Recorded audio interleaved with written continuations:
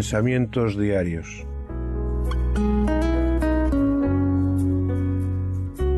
Sencillas pero profundas reflexiones para cada día de nuestras vidas. Meditaciones de la palabra de Dios nacidas de un corazón agradecido por su gracia y misericordia. Pensamientos diarios.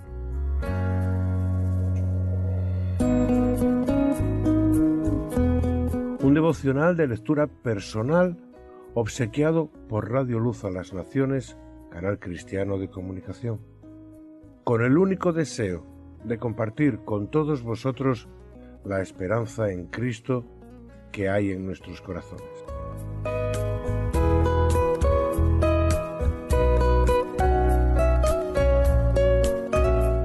Misericordia y gracia.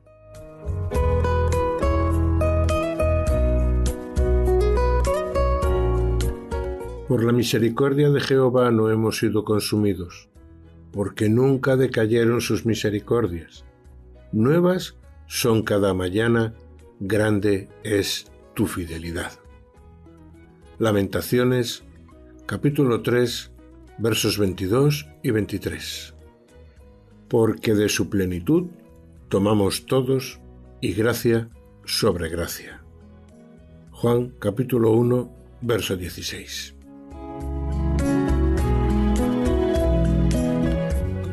Por mucho que lo pensemos o lo queramos comprender, el hecho de ser perdonados y redimidos por el sacrificio de Cristo no deja de ser el mayor de los misterios, no ya de la historia de la humanidad, sino de la propia eternidad. Primeramente, aclarar el significado de estas dos palabras, misericordia y gracia. Misericordia es no recibir el pago que nuestras faltas afrentas se merecen. Gracia es recibir gratuitamente un beneficio que no merecemos. Si leemos la Biblia, no dejamos de sorprendernos al encontrar personas y situaciones en las que la gracia de Dios para con nosotros rezuma misericordia a raudales. Ejemplos como el de Jacob, engañador y fraudulento, Jonás, un rebelde, o Pablo, un cruel perseguidor de los cristianos, son un pequeño ejemplo de cómo eran sólo unos pocos de los amados de Dios. Traidores, mentirosos, asesinos y prostitutas son algunas de las personas que aparecen aún en el propio árbol genealógico del mismo Jesús. ¿Quién eres tú en esta lista? Porque estar, estás, no lo dudes. Tal vez no te identifiques con ninguno de estos personajes, pero todos tenemos mucho en común con cualquiera de ellos. ¿Qué tengo yo en común? pensarás. Pues básicamente el hecho de ser merecedores de un castigo y posterior olvido por parte de Dios como cada hombre o mujer que vive sin tener en cuenta la salvación que hay en Cristo Jesús. Y si ya tienes a Jesucristo como tu Señor y Salvador, pues el hecho de haber sido redimido de aquella vana manera de vivir en la que estabas cuando Cristo salió a tu encuentro en el camino de tu vida. Sea como sea tu caminar, la gracia y la misericordia de Dios están hoy sobre tu vida. No lo dudes ni por un momento. Pero sobre todo, no lo desprecies.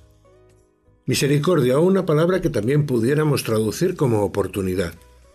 Nueva es esa oportunidad que Dios pone delante de nosotros cada mañana, una nueva oportunidad de restablecer con Él una relación perdida por causa del pecado. La oportunidad de ponernos en orden, al día, en cuanto a nuestro trato con Dios, aceptando su poder y dándole toda la autoridad que Él debe de tener sobre nuestras vidas. Y si hablásemos de la gracia, qué mayor gracia que ejercer misericordia sobre nuestras vidas. ¿En cuánto podríamos calcular la eternidad? ¿En kilómetros? ¿En milenios luz? Creo que la respuesta sería en vida o muerte, en luz o en tinieblas. Y para salvar esa distancia que separa la eternidad en luz de otra en muerte y en tinieblas, solo tenemos la gracia que se derramó en la bendita cruz del Calvario, donde Cristo quiso pagar el precio de nuestra libertad.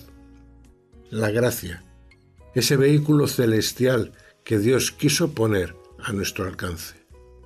Porque por gracia sois salvos por medio de la fe. Y esto no de vosotros, pues es don de Dios. Carta a los Efesios, capítulo 2, verso 8.